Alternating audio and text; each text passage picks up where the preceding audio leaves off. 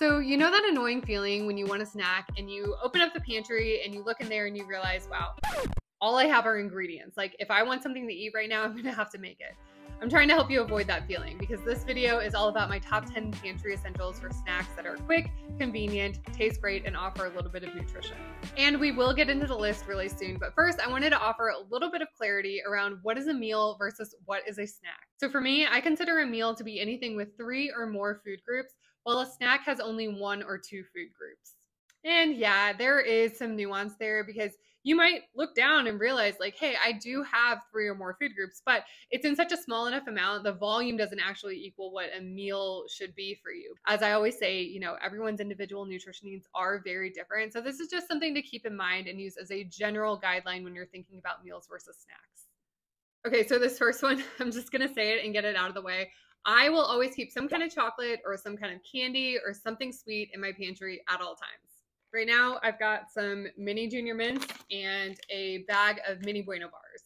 And I get that that might seem unusual, especially coming from a dietitian, but I think we really need to start making the case for why we should keep these foods around. The reason I keep them around is to just normalize the fact that they're there. I know that I can go to the grocery store or a convenience store or wherever else, get something sweet, get some kind of candy, something that I would normally have for dessert, and make that available anytime I might want it you might be thinking, well, if I have it around once I start, there is no stopping. And I need you to understand that that is exactly the reason to do this.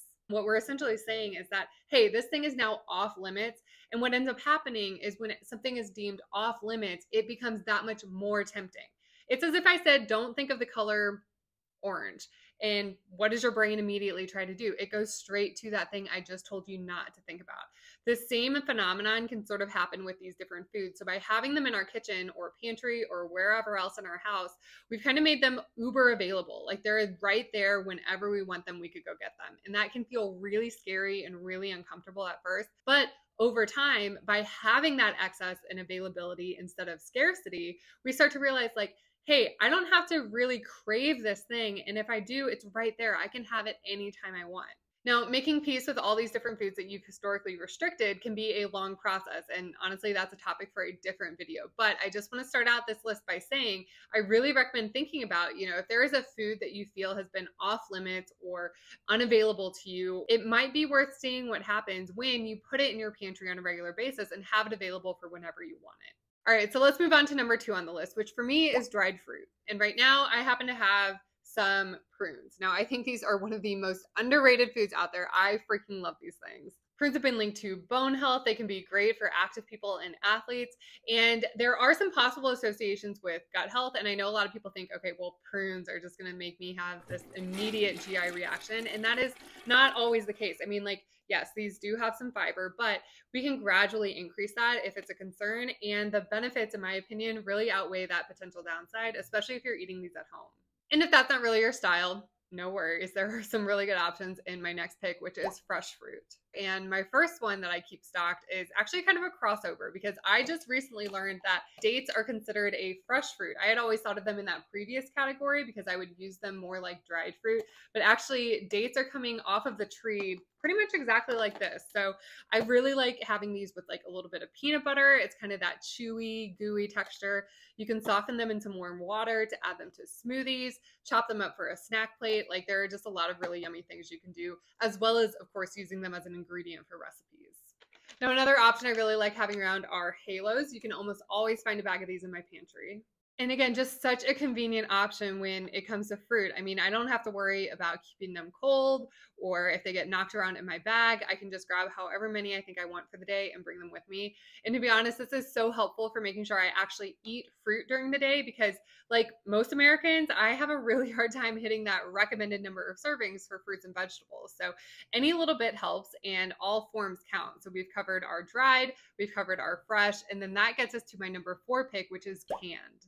And yeah, there are a ton of varieties out there. I will usually buy whatever is on sale, or like I love mangoes, love pineapple, love peaches, love these little mandarin oranges. Where'd they go? Yeah, so these, I mean, you might not think of this as canned fruit, but because it is pantry friendly, I mean, this is shelf stable and it's not going to spoil nearly as quickly as other fresh fruit options. And now that we've covered everything in sort of the sweet category, we're going to shift gears and go a little more savory for this next one, which is beef jerky. Now, obviously, there's Jack Links, there's a lot of different brands, but I'll honestly just buy whatever's on sale because this is one of those pantry items that can get really expensive really fast. And we've actually experimented a little bit with making our own beef jerky. So we have a food dehydrator and it's worked really well for us to just go out, find, you know, whatever cut of meat is looking good. We can season it however we want and really control the amount of sodium that goes into it. And then it doesn't last very long, to be honest, because we like it so much. We just eat most of it right away. But the packaged beef jerky is a really shelf stable option for protein.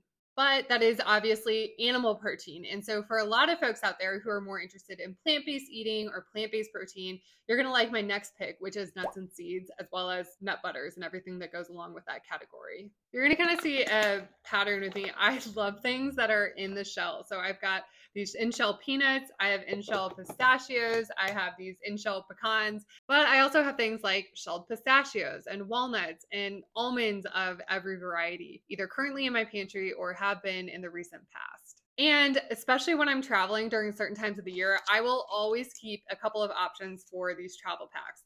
Um, this is really important because in the past before I knew better, I really like to take peanut butter with me to have in the hotel room or at different events.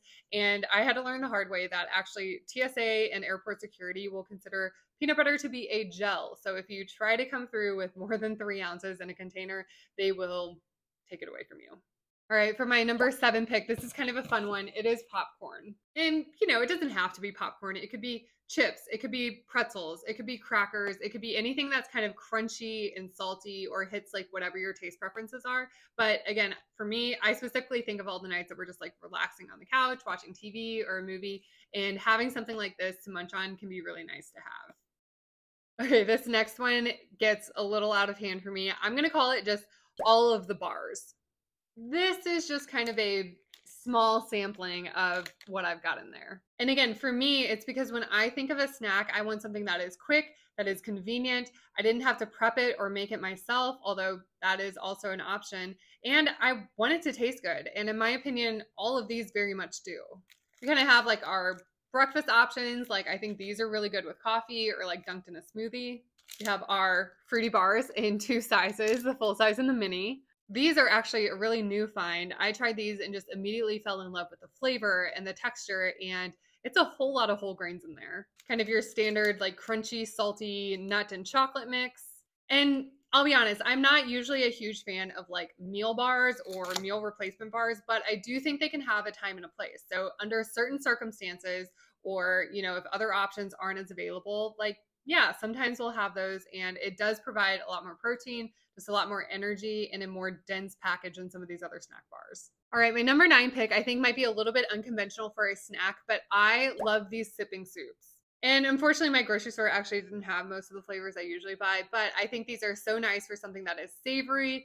You know, you heat it up so it's warm and kind of comforting, but again, it's not really enough to sustain like a meal would. So that's why I have them here on my snack list instead. And finally, my last pick is going to be something like English muffins or mini bagels, something that's in that kind of wrap or tortilla category, because again, these are incredibly versatile. Like, yes, you can absolutely use them in a meal, but they can be paired really, really easily with some other things to make a filling and satisfying snack that actually tastes good. And with that, we have wrapped up my top 10 list of pantry essentials for snacks that are great tasting and nourishing, quick, convenient. I mean, what more could you ask for in a snack? And this is actually a part two video. So if you want to go back and watch part one, that's where I talk about my top 10 pantry essentials for easy meals. And, you know, that might give you some inspiration for recipes or if you're doing a little bit of shopping and planning ahead for meals this week. And of course, as always, if you like this video and found it helpful, head down there to hit that like button and subscribe if you haven't already. And then while you're down there, leave me a comment and let me know. I mean, obviously, I was sharing a lot of my favorites, but if there's something that you didn't see or something you think I should check out and try for myself, let me know what it is in a comment below. And as always, thank you so much for watching. I'm Cara, the dietitian behind Street Smart Nutrition, and I'll see you in another video soon.